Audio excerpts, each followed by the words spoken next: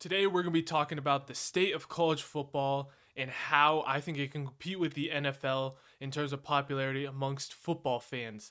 Now, first, in order to do this, we need to talk about what the issues I think are that have been holding college football back way behind the NFL and why NFL is just so much bigger. Now, obviously, the NFL is always going to be probably bigger, but I think college football is gaining popularity a lot recently, and I think it still has a lot more room to grow. So, the two main issues I personally see with college football that are already being worked on fixing are player personality recognition, is the first one. I mean, like when you turn on an NFL game, even if you're a casual fan, I mean, you know who the dudes are. You know, you turn on a Vikings game and you might not even have ever rooted for the Vikings, but you you've heard the name Kirk Cousins, you know who Justin Jefferson is. You know, before this year you'd heard of Dalvin Cook. You know, you know the names. Whereas college football, I mean, you can be a pretty big college football fan. You still turn on a game where it's like Clemson versus Georgia Tech first game, and you couldn't name a single player on Georgia Tech, or you know even like Clemson. Sometimes you turn on a Clemson game and you don't even know some of these guys that are playing. So it's bringing out these player personalities and bringing players more in the spotlight, because we can see with sports like the NBA is becoming a lot more of a player sport, whereas these younger generations, I'm part of those younger generations. Personally, I'm not this type of person, but some people like to just root for players nowadays. They see these players and they root for them. Now, obviously, this is harder in college because they only have three or four years in college. If they're good, they only have three years and then they never play college football again, whereas these leagues you have more time. But still putting these players' faces in and letting people root for the players, which is a big thing about popularity, and people like to root for other guys. Um, so they have already taken steps. I'll talk a little bit um, in the future about what they've already done and how I think they can keep pushing those.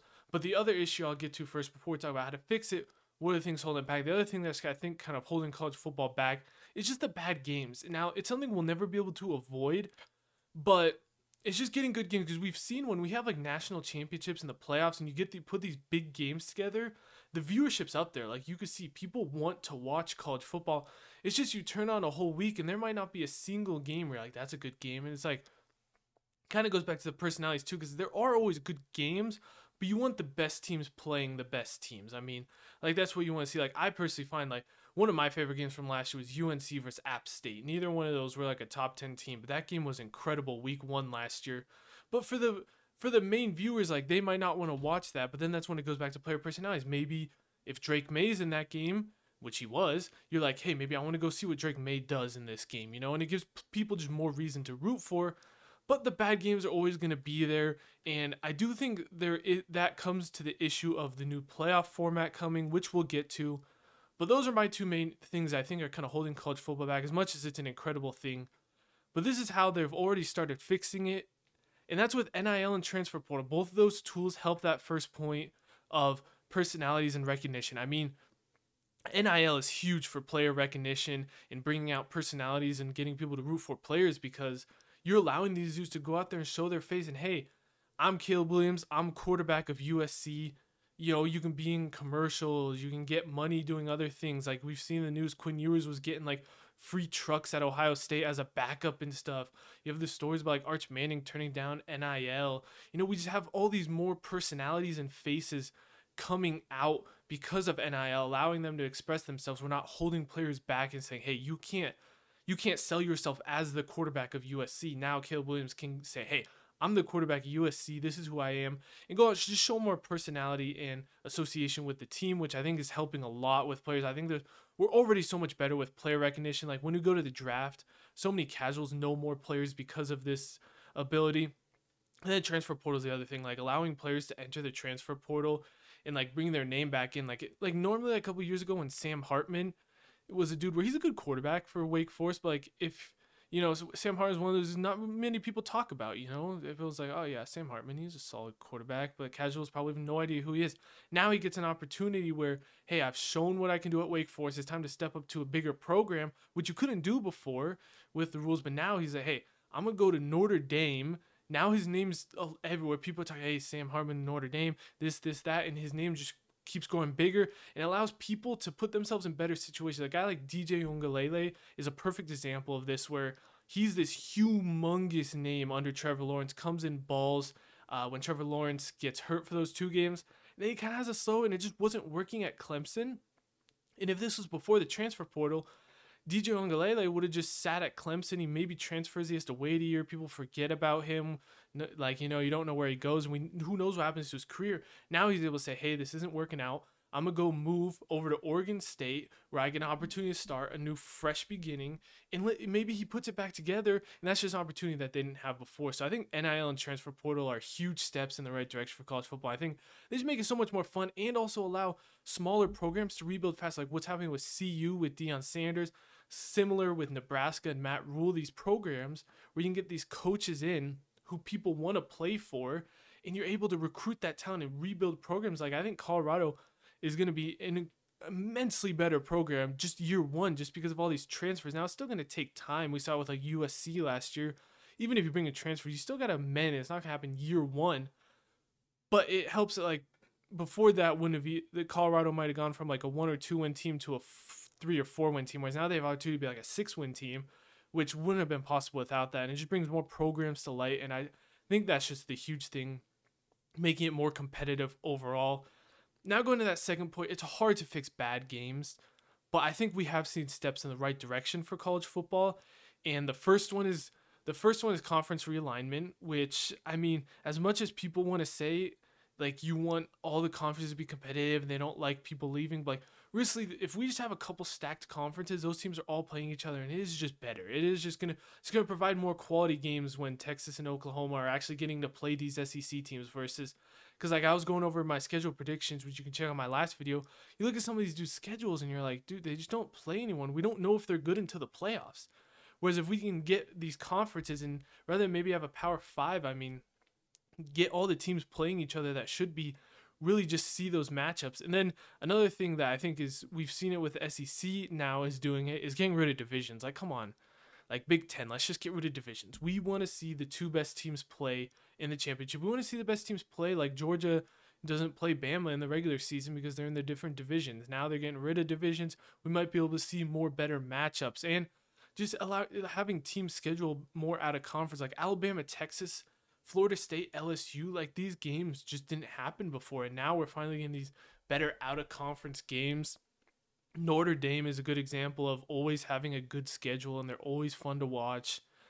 And I think just that competition level because everyone wants to see good games. So it's about getting as many good games as we can and just allowing a broader audience to kind of see. Um, so that kind of leads us into the 12 team playoff, which why I where I'm kind of have my concerns about the 12 team playoff. I definitely think four was not enough. They had to change out of the four. And I mean, bravo for them for actually changing. I didn't know if college football playoffs would actually, but they did. I think it's a great move. And here's why. Let's go over the 12 team first. I'm going to show you what it would have been last year, a couple of the rules, and then I'll go to what I thought could have been another route that they took. All right, sorry, I don't have the visuals. I'm having some technical difficulties with some stuff, but I'll just go ahead and explain how the playoffs work. So the rules for the 12 team playoffs are starting not this year, but the 24-25 season. So we're gonna have a normal four team this year, and the next year it'll change.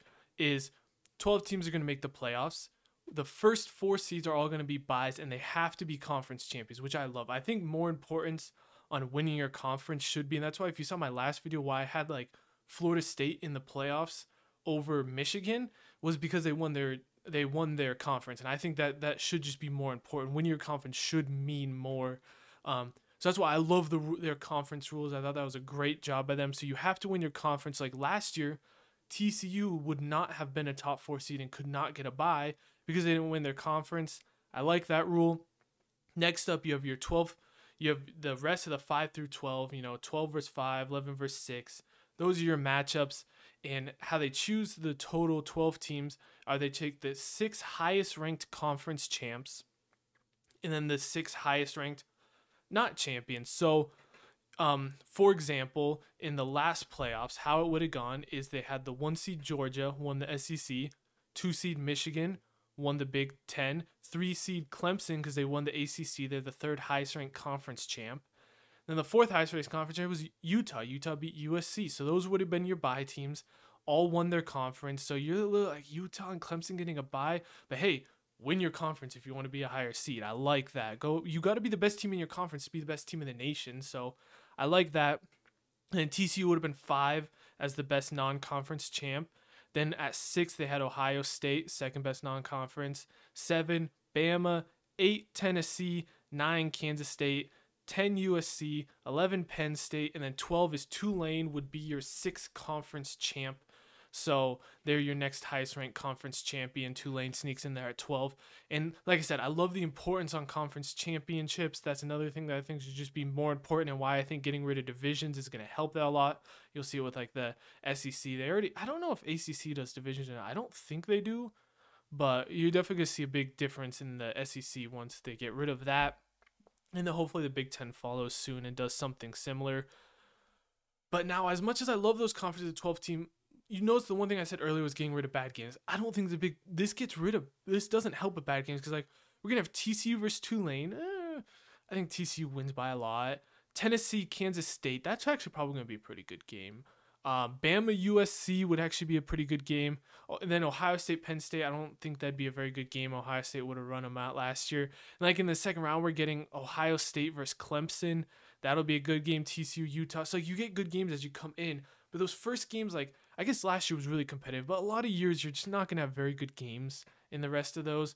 So that's why I I thought it should have been more like a six uh six team playoff where you know you have your top two get a bye and then you have like three versus six, four versus five, and then they play those two teams who had a bye. I like implementing a bye so it makes teams want to get those first couple seeds. We'll see how it works with the 12 teams. We're definitely gonna get more football, and we can't complain about that. Um, but I think it's gonna be fun. Anyways, let me know what you guys think about this. I think college football is just gonna keep taking off. I mean, college football is just so fun to watch, and like you already have a rooting interest if you went to a university. You already have that team, you know.